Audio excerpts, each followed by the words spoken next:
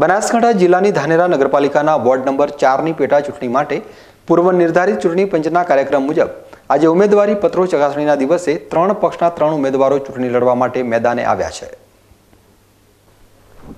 ધાનેરા નગરપાલિકાના ward number ચારની મહિલાની સીટને કબજે કરવા માટે ભારતીય જનતા પાર્ટી તેમજ કોંગ્રેસ પક્ષ સાથે આમ આદમી પાર્ટીના ઉમેદવારે પણ ઉમેદવારી નોંધાવી છે. ત્રણ ઉમેદવારોમાં મહિલા ઉમેદવારોની વાત કરવામાં આવે તો કોંગ્રેસ પક્ષમાંથી ઇન્દુબેન બળવંતભાઈ ઠાકોર, ભારતીય જનતા પાર્ટી પક્ષમાંથી ભૂરીબેન હંસાભાઈ પરમારે ઉમેદવારી નોંધાવી છે. તો આમ આદમી પાર્ટી તરફથી રંગુબેન ધારસીભાઈ રાંગી છે.